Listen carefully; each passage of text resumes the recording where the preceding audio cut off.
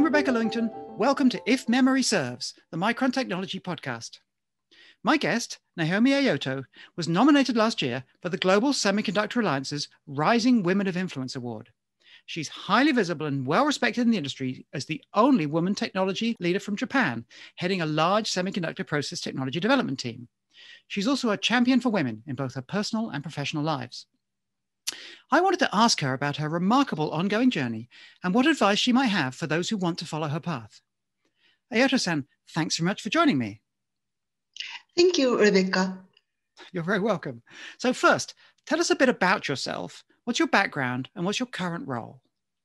My major was material science, and I started my career as a researcher of silicon surface reactions. Next, I came to be a process development engineer. Then I led DRAM process development for more than 10 years. My current role is mainly connecting university students to semiconductor industry to attract talented students to this industry. I give lectures to students and arrange lecture series as Micron team.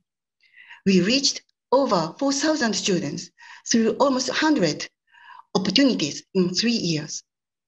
It's the role of the ambassador of our industry to fascinate students to our technologies and further growth in the future. It is indeed a fascinating industry that we're in. So tell me some more about how you went from being a pure technologist to being in the role of technology development. How did that happen and why did you want to do it? I also worked for technology alignment in Micron. The reason is Micron is developing technologies at global sites for such a company, technology alignment is very important. We unify development strategy and align actions to maximize the effectiveness of parallel development. I took the role of technology alignment after my assignment in US, Boise, Idaho, then came back to Japan. My previous company in Japan was acquired by Micron, and before that, I was leading process development. In Micron, I was assigned to the same role in US. So I knew the differences of technology between both teams, and I knew the importance of technology alignment and people collaboration to make things go ahead. We needed to overcome physical distances and gaps of cultures and ideas. I took the mission of accelerating alignment and collaboration because I was the best person to do that with my experiences. That's really interesting. So, what's your proudest achievement from your technologist role? I know you have your name on more than 20 patents. Thank you. In my career uh, as, a, as an engineer of cleaning processes, I developed wet and dry cleaning processes for ultra-fine structures for high-end devices and achieved innovations. I'm proud of them. But the most important achievement is the DRAM technology alignment in Micron we joined technology strengths to get back the leader, leading edge leadership of DRAM technology in the world. This is my proudest achievement from technology perspective. And it is something to be proud of indeed. Um, so when you have to bridge different cultures across great distances, what have you found helps to bring those teams together? When I bridge different cultures and technologies, of course, there are difficulties. To overcome the gaps, among cultures, we need to try to understand the background of thoughts each other. Through my experiences, I got a general way, way to achieve the sincere collaboration, not superficial, sincere collaboration among different and diverse ideas and cultures.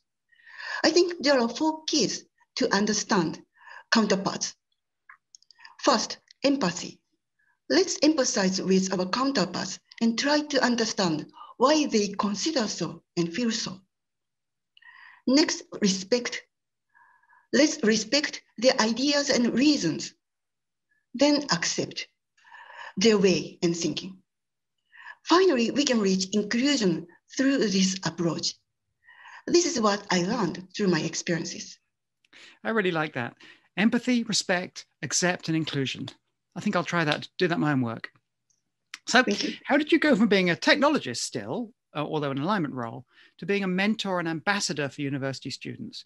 How did that happen? And why did you want to do that? I accepted the role of the ambassador for universities because it is another way for me to connect people, connecting university students to the people in semiconductor industry. Unfortunately, in Japan, semiconductor industry didn't look so attractive to university students. They were misunderstanding that semiconductor industry is declining. It was necessary to correct such misunderstanding and send the message that semiconductor technology and industry are keep developing and the necessity is increasing. We have the great future with AI, new generation networking, computing, and all future technologies beyond. All of them need semiconductor. I thought I can send the correct message, information to attract university students. So when you when you speak to students considering careers in semiconductors, what do you tell them? When I talk to students, first I show them how semiconductor industry has been growing. 10 times revenue increase in the past 30 years, and it is keep developing. There is a great future and how attractive here is as their working place. Next, I tell them about what the meaning is of working in manufacturing industry. We design and produce the solutions and send them to society. My company, Micron, produces memory solutions, which lead our world to evolve with various technologies which need memories. Our products, memories, are the contact between our side manufacturer to society. Through the contact through our products, memories, we can contribute to society and world to step up to the next stage and we can make people happier. So we can proud of our products, memory solutions.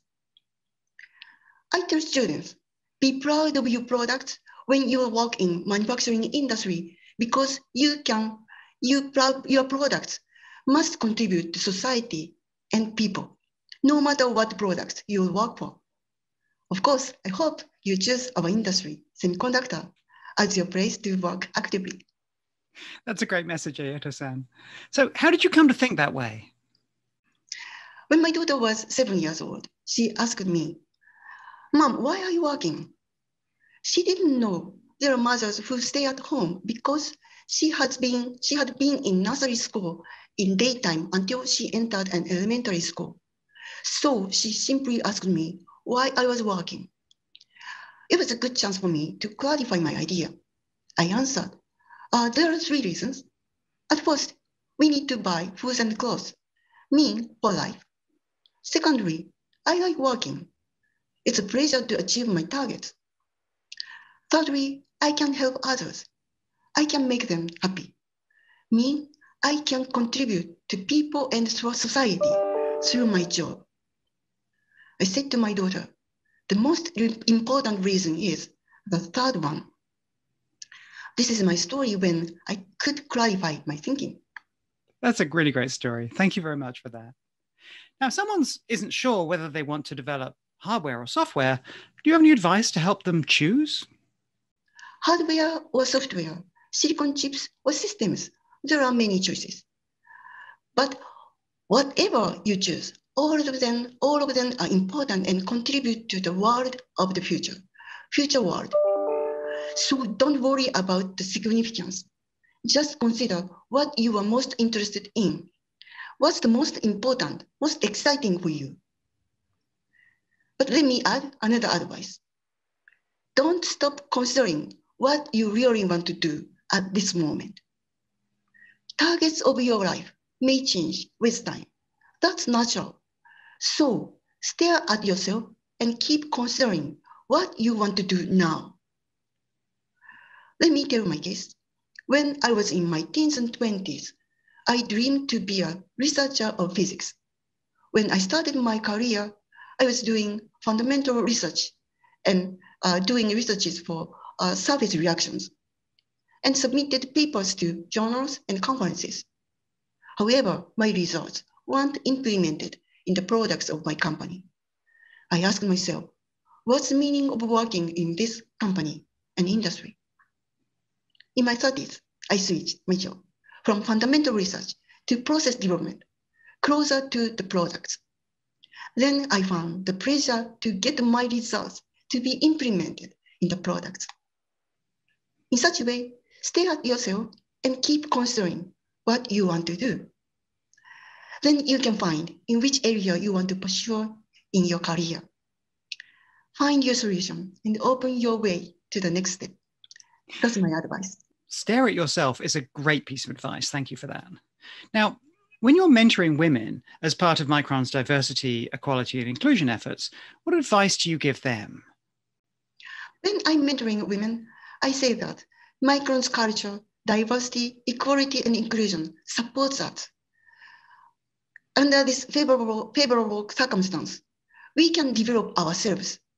It's a chance for us. It's a chance to train and develop ourselves for higher capabilities. And also we can show our performances in our engineering roles by solving issues, innovations, and designing the solutions. The DEI culture supports us to work more actively and positively. Don't hesitate. Let's move forward. Indeed. And along those lines, have you experienced any barriers that you had to overcome as a woman technologist? In my career over 30 years in semiconductor, in fact, I didn't experience any barriers due to a woman. All my barriers came from technology, engineering, or economy among the industry. I knew, I know I was lucky, as all my supervisors supported me, and my husband and children have been supportive every time. However, of course, I know there are various circumstances. Let me give an advice to overcome barriers. Keep your strong will to develop yourself. Keep your targets with passion. If you have obstacles, ask people surrounding you for their help. Don't hesitate, then you can get the support. I think that's the way I have been doing. I kept my intention, and people surrounding me helped me to break barriers when I asked them for their help. I hope many women engineers can do so. I'd like to say, I will help you. Let's move forward together. Yes, indeed. Let's move forward together. So tell me, Aoto-san, what does the GSA nomination mean to you? The GSA, GSA nomination means a lot to me. It's a great honor of me that my career and role are recognized. This honor helps me to fascinate students, especially women, with semiconductor technology, engineering, and our industry. That's great. So just to finish off, what's next for you? I'm now opening new contacts between university students in Asia and us. This is my mission, to ensure the growth of semiconductor industry with the highest talents of coming generation in Asia and over the world. Aoto-san, thanks so much for doing this. It's been very inspiring. I really appreciate it. Thank you. Thank you very much.